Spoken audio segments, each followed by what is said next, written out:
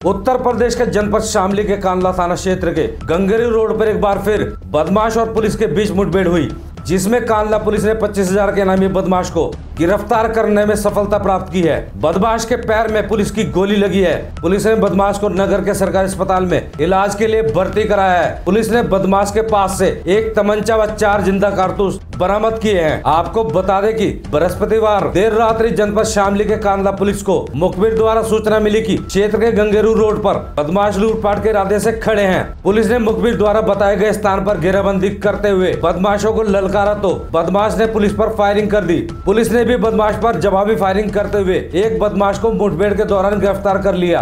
Police मुठभेड़ में बदमाश के पैर में गोली जा लगी जिससे बदमाश मौके पर ही घायल हो गया। पुलिस के द्वारा बदमाश की पहचान अमजद पुत्र शरीफ निवासी थाना कानला के रूप में हुई है। पुलिस के अनुसार बदमाश के ऊपर हत्या व लूट जैसी कई संगीन आपराधिक मामले दर्ज है और पुलिस प्रशासन की ओर से बदमाश के ऊपर पच्चीस हज़ार का इनाम भी घोषित है। क्राइम स्टोरी के लिए उत्तर प्रदेश के शामली से संवाददाता फुरकान जंग की रिपोर्ट। बदमाश गोली ले गया। सर जो कि थाना क्षेत्र कांडला से वांछित चल रहा था, इसके ऊपर पहले भी तीन वन मामले हत्याओं के और सहारनपुर जनपद से गैंगस्टर का मुकदमा और इसी तरह डकैती के मुकदमों में ये पहले जेल जा चुका है।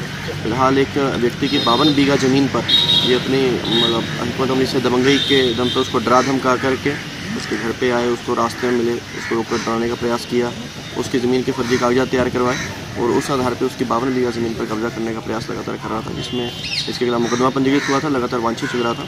जैसे पुलिस टीम को टिप ऑफ़ प्राप्त हुई, इसके सूचना मिली तो उस पर इसके अरेस्टिंग का प्रयास किया गया तो इसने बदमाशों जो इसके साथ में थे और खुद पुलिस पार्टी पर फायरिंग की, जिसमें आपसी इसमें जो क्रैकडाउन हुआ, उसमें बदमाश गिरफ़्तार हुआ, घायल अवस्था में, और उपचाराधीन आगे की जो कार्रवाई है, इसके जितने भी पहले गैंग के मेंबर्स रहे हैं, उनकी वर्तमान स्थिति और मौजूदा हालात में जो कुछ नाम सामने आए, जो इसके साथ में जुड़ करके काम कर रहे थे, उनकी जानकारी जुटाई जा रही है और आगे कार्रवाई